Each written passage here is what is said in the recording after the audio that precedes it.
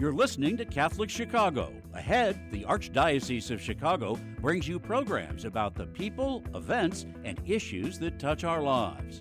Welcome to Catholic Chicago.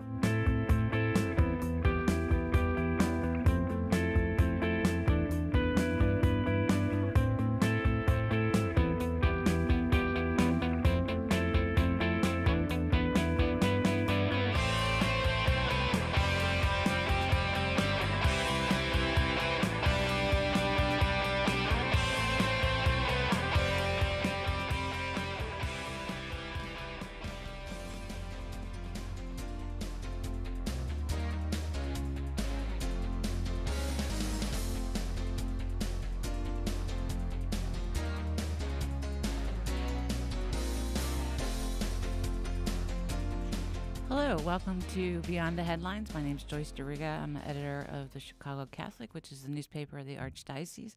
And this is where we go beyond the headlines to interview the people making the news that we're covering in the paper.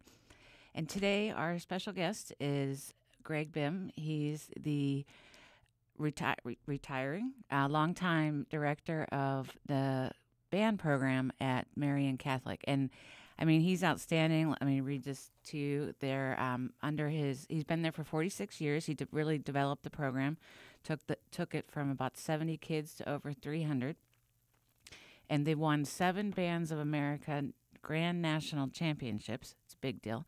42 state titles, like consecutive. Nobody's ever done that uh, before, and they've also been in, you know, the Macy's Day uh, parade. They've been in the Tournament of Roses parade. They've marched in an inaugural uh, presidential inauguration parade. So, Greg, welcome to Beyond the Headlines. Good morning. It's great to be here. Thank you for asking. You're welcome. So, um, now technically school's over, right? So, are you officially retired or? I have um, school is over. Grades are due today, um, but I have 46 years of stuff. Oh my gosh! That I'm I'm I'm putting together. So I, yeah, it's it's a, a long trek to. Uh, well, and you're not leaving. You're going to work with the advancement off. Yes. Um, yeah, and then you're going to also stay on as a consultant with the band, and you know, write show. Okay, so tell us a little bit about you know we talked on the when we did the interview we talked about how you landed at marian catholic um, and how they they welcomed you and it, it was the right place. Can you talk a little bit about that? How you got started there and Sure. Um, as I said, uh, I was doing graduate work at Western Illinois University, and I got a call from a friend who was um, teaching band at some of the the local grade schools here, the local Catholic grade school.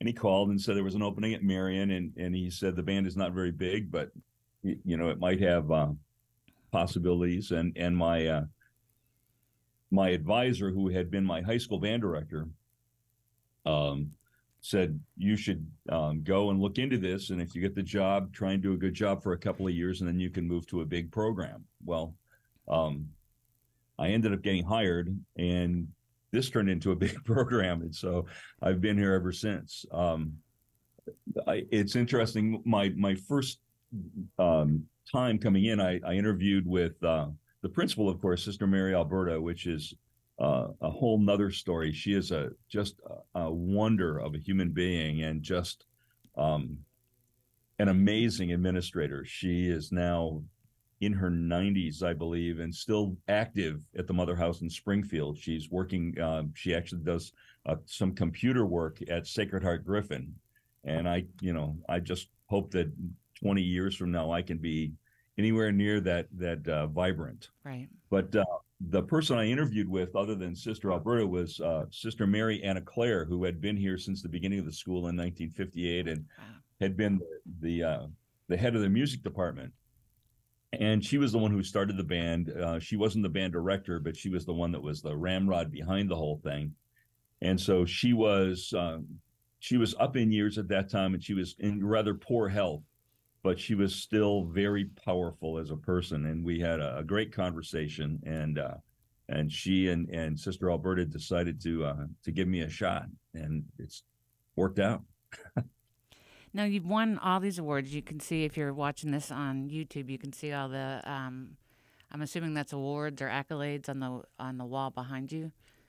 Yeah, yeah, I, uh, yeah, I, I kind of feel funny when they're, you know, when I'm doing a, a thing like this because they're kind of, but I, I needed a place to put them. Yeah, so. not just in a box somewhere. But I'd asked you, you know, how how do you go about winning all these things? And and you said it's not about the winning, and you have this whole philosophy about creating um, good human beings. Can you talk good about people. that? Yeah, good people. Sure. Uh, I I learned very early on that that uh, winning is not the is not and cannot be the goal. It just it, it clouds everyone's judgment. Um, a quick story: when I I had a friend who was teaching in another school here in in uh, Illinois, and the the band program was was pretty solid, um, and they had been very successful. And for them, it was all about what trophies they were winning. Um, it it hadn't lasted very long, but uh, the first time we won uh, the summer national championship, I got a call from that band director, and he asked me, "Now that you've won the big one, what are you going to do next?" And my my answer was, "I'm going back to school tomorrow to teach lessons." um, and and what I saw with that program is because it was built solely on winning trophies it disintegrated. Basically, it it burned really hot for a little while, but they used up all of their um, their resources essentially, and the the personal resources especially. On a much greater subject, though, I you know that was kind of one of the first lessons, but um, it became really clear that it's it's really about something completely different. It's about creating great people and working together. Um, and our goal from the one of my first comments to the band every year is if you've come here to win trophies you've come to the wrong place mm. That's not that's not who we try to be. That's not who we you know we never talk about what we, what we have to do to win at this contest or to finish ahead of somebody else. All we talk about is being good people. The first lesson that we learn is how to be good people. Um, well and not completely how to be good people but that's the starting point. Um, we we talk about we have a, a, a band mantra, as it were, called um, pride, which in itself could be a kind of a negative word if used in the wrong way, but ours is an acronym for personal responsibility and daily effort. And we talk about that in in um, from all aspects. Um, one of the lessons that we talk about is if you're walking down a hallway and you see paper on the floor, do you pick it up or do you just leave it and wait for the maintenance people to pick it up? And if you do pick it up, are you picking it up because a teacher is watching and you want the brownie points from picking up and being a nice person? Or do you pick it up when nobody's watching? And we talk about the fact that it's much more valuable to pick that paper up when nobody's there. It's much more uh, of a, a human thing to do, to to do the right thing when people are not watching. And so um, it starts with that, and and and we never let up on on living up to your responsibility. One of the things that happens with that, though, is that it starts to spread everywhere, and when it spreads into the music, basically people are being responsible. They'll practice because they realize they're responsible to the rest of the group. They'll practice because they're responsible to the conduct or the, the composer, not the conductor, but the composer to make the music as real as as they possibly can. And when you get a whole lot of people working like that, it gets, well, good things happen. That's amazing. So, have you, um, have you, can you talk about the, the impact that you've seen that have on on the students over the years? I mean, it's been 46 years, so. Um, yes, and, um, sometimes. Well, we have we have graduated some amazing people, and and sometimes um, they come in amazing, and they just get even more amazing as they as they they grow through it through uh, the experience.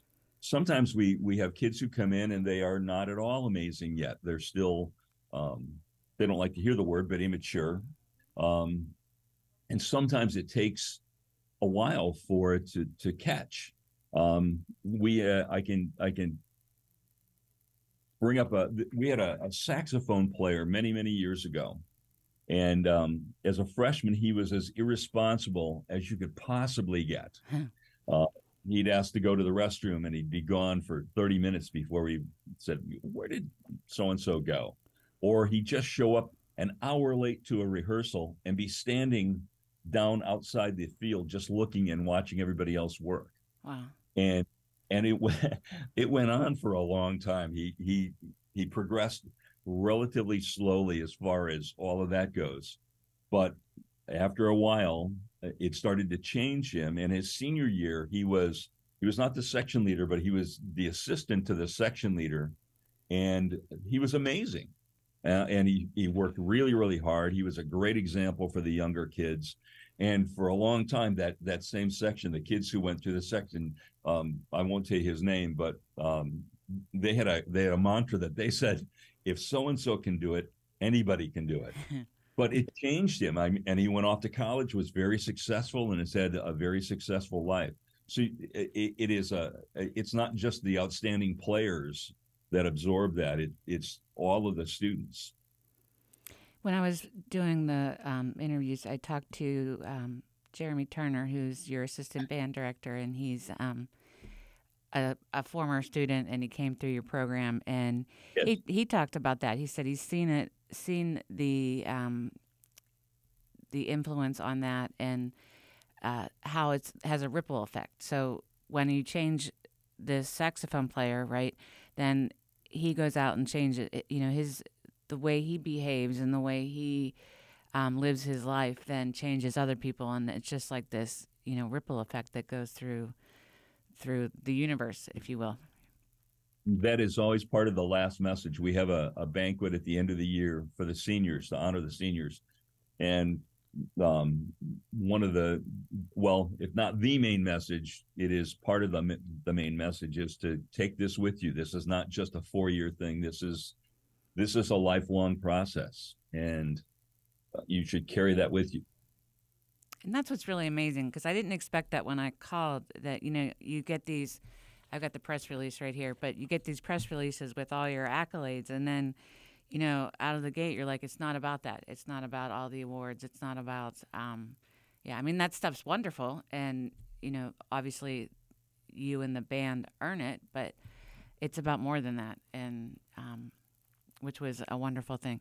Okay, we're coming up on a break. Um, before we go, I just want to give a pitch to the, the, the, newspaper. You can check us out at chicagocatholic.com. We have, um, you can follow what's going on with the Pope at the Vatican. Cardinal Cupich writes regularly, and you can sign up uh, for a subscription. It's $30, and we come out about every two weeks. That supports our ministry. You can also follow us on social media or sign up for a free e newsletter that we send out about three times a week. Again, that's at chicagocatholic.com. So we're going to take a break and we'll be right back with Greg Bimm and talking about the Marian Catholic Band.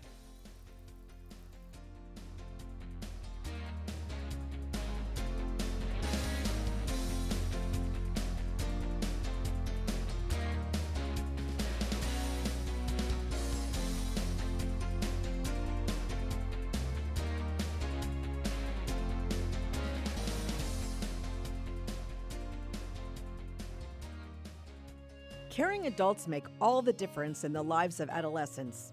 Catholic Charities understands this, and our mentorship programs provide a free opportunity for young adults to spend time with volunteers who genuinely care about them. This program is ideal for youth aged 9 through 12 who may need support navigating the challenges of childhood and early adolescence. Our amazing volunteers serve as friends who help youth recognize their strengths and empower them to reach their full potential.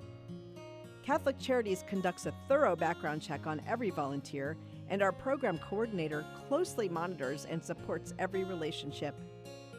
Mentoring is a fun after school program that can help young adults build confidence and enjoy fun activities with their peers, too.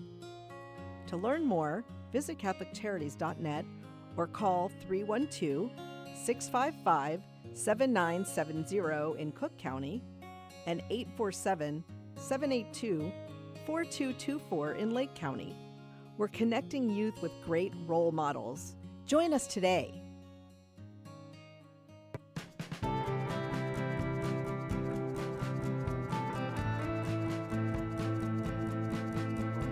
This is your 44 for me teaching. When I started here, there were teachers here that had taught me when I was a student. Now I'm the old person. right now, I teach junior high math. I love when kids find what I'm teaching to be fun and they get it. I see that light bulb go off and it's a thrill. People are always amazed. What? What? You're here for 44 years? It's hard for me to believe, frankly. I love what I do. Every summer I think, oh, I miss the classroom. Even on the weekends, I think I can't wait to get back on Monday and teach those quadratic equations. Shape the next generation of leaders. Teach. Apply today at archchicago.org slash schooljobs. Catholic Charities Family Self Sufficiency Program has assisted thousands of single parents who are working to become more self sufficient through education and employment opportunities. Our experienced case managers accompany participants for up to five years on their journey to identify, address, and break down barriers to improving their quality of life and achieving meaningful goals for themselves and for their families.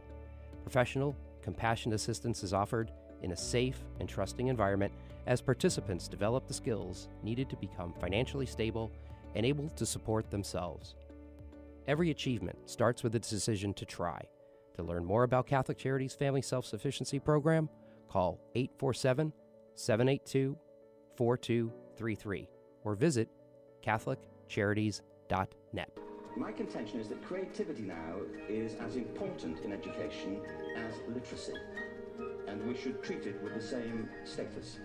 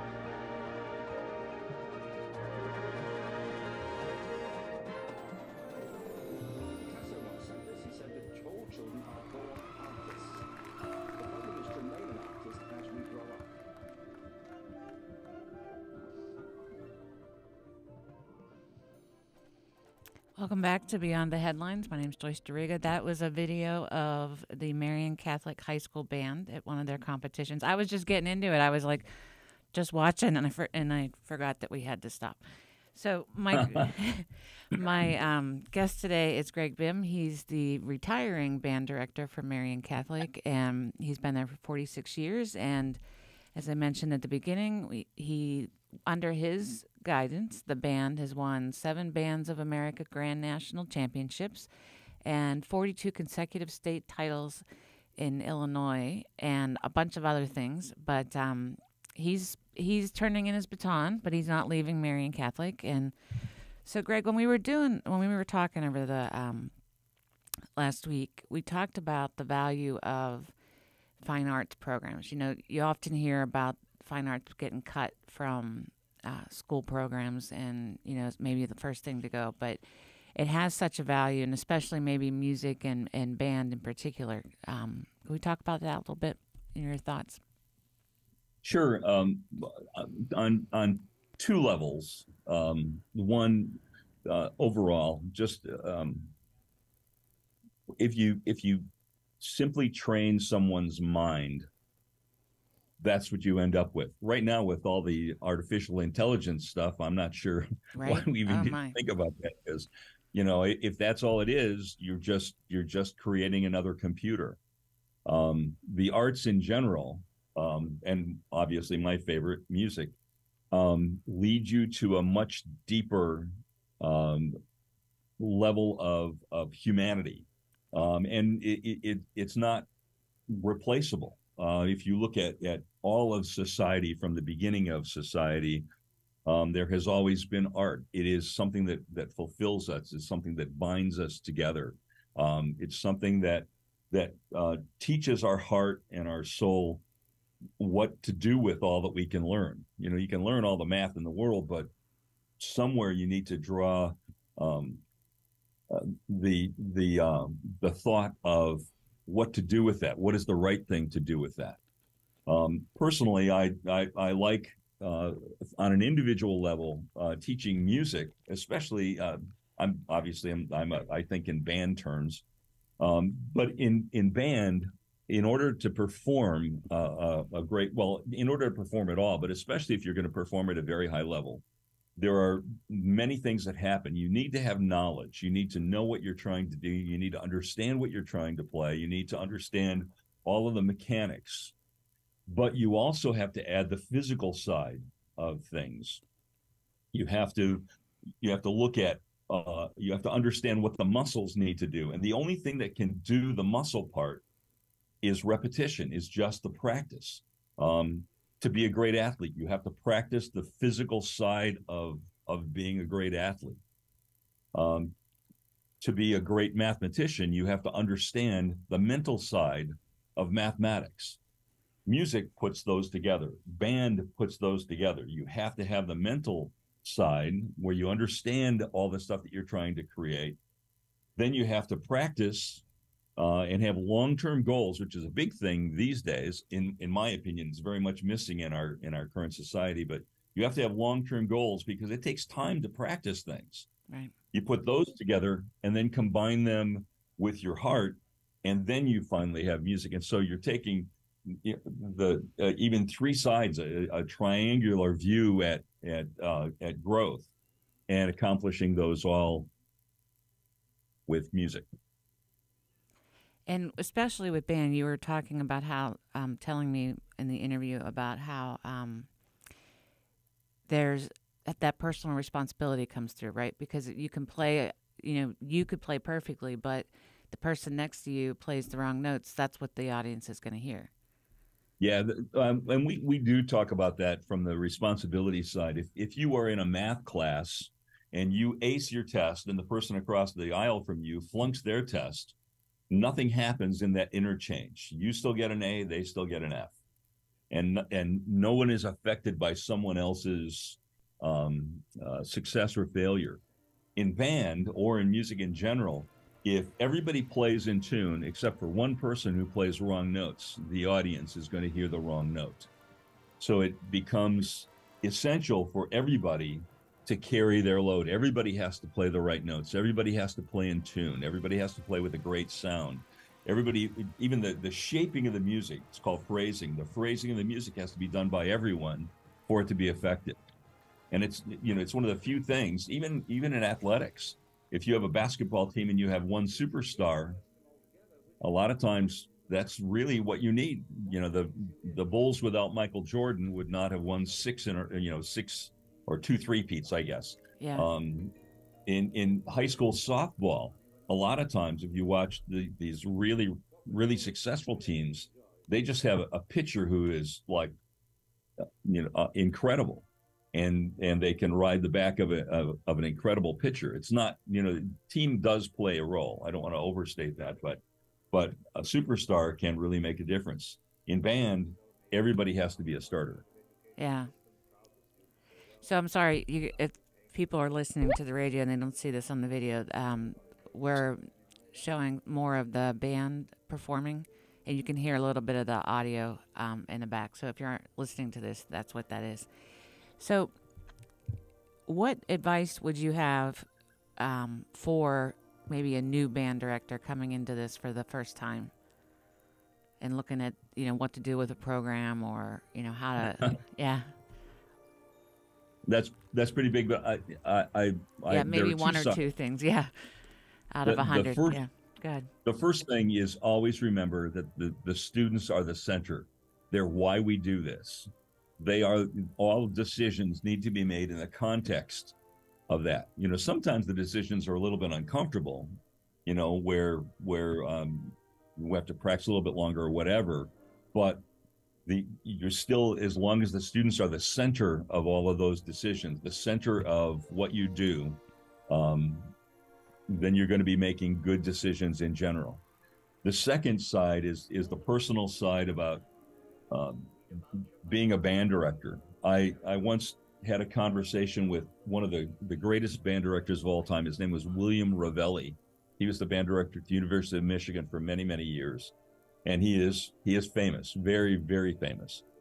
And we talked, and I was I was very young. Was before I came to Marian, and I asked him relatively the same question and he he said he, obviously he was an old timer born you know way back in the well he was directing a band in like 1930s Wow. um but he said young man wear the seat of your pants out studying your scores which you know really when you stretch that just a little bit it, it is it is essential for band directors to know the music. Like you really have to know and and and uh, spend a lot of time studying.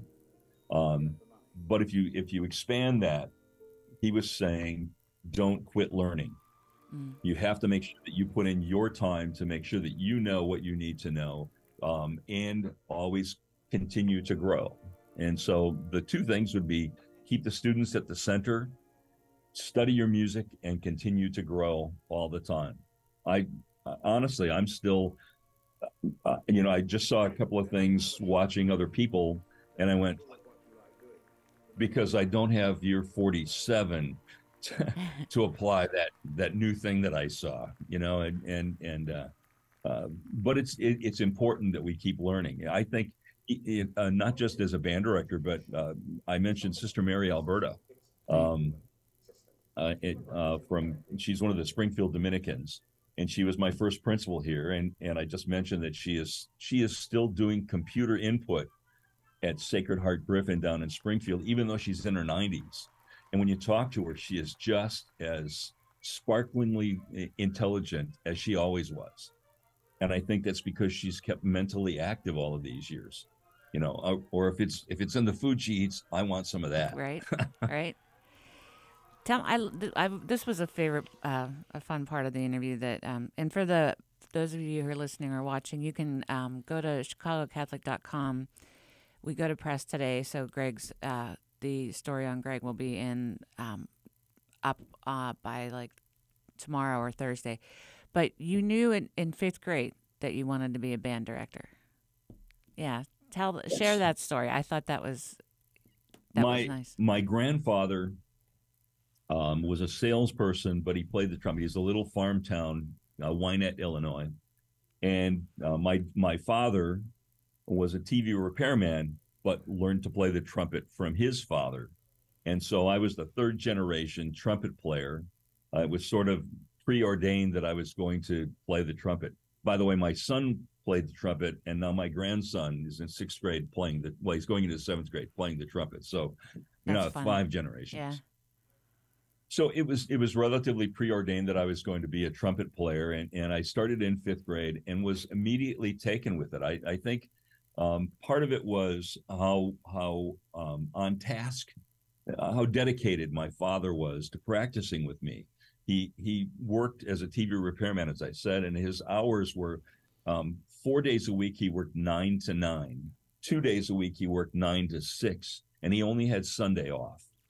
And yet, outside of those times, when he'd come home at nine o'clock at night, we would spend an hour practicing together from nine o'clock until 10 o'clock, even though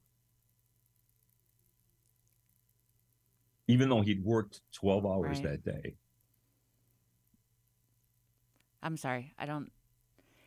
I think we're wrapping up. We have a, a few Oh. seconds le- left to go. But yeah, so to finish that story, so he, you figured out in fifth grade that that's what you wanted to do, and that's what you. was- yeah. It, yes, it was it was kind of immediate, and and I am so blessed that I have gotten to do that. Very few people even going into Right. college know what they want to do and even after college a lot of people don't know what they want to do or they choose something and then they say they've got to do something else and for me it was a fifth grade choice and i i haven't swerved from that for well s- One. 50 something years And counting. so And and counting. counting So wonderful. Well, Greg, thanks so much for joining us today. Um, I'd encourage people to uh, Google Marian Catholic Band or get out to see them if you can. Um, and uh, also sign up for Chicago Catholic. At, check us out at chicagocatholic.com. And until we see you again, thanks again so much, Greg. I appreciate you. thank you so much i really appreciate it You're welcome. Have a good day.